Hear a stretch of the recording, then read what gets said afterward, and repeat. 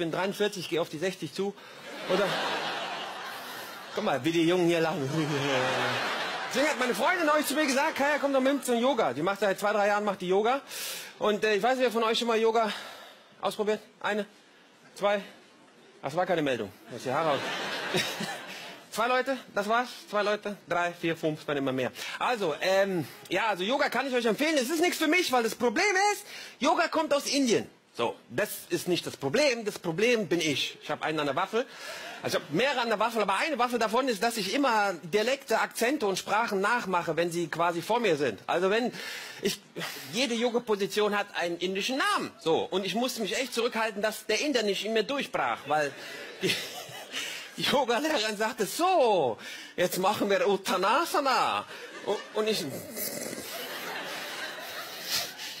meine Freundin guckt mich an. Nicht, nicht. Jetzt nicht den Inder.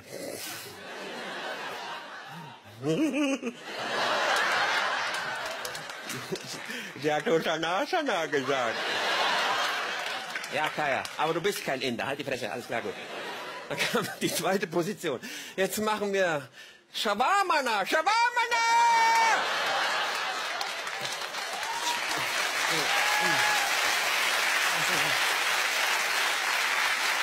Tut mir leid. Die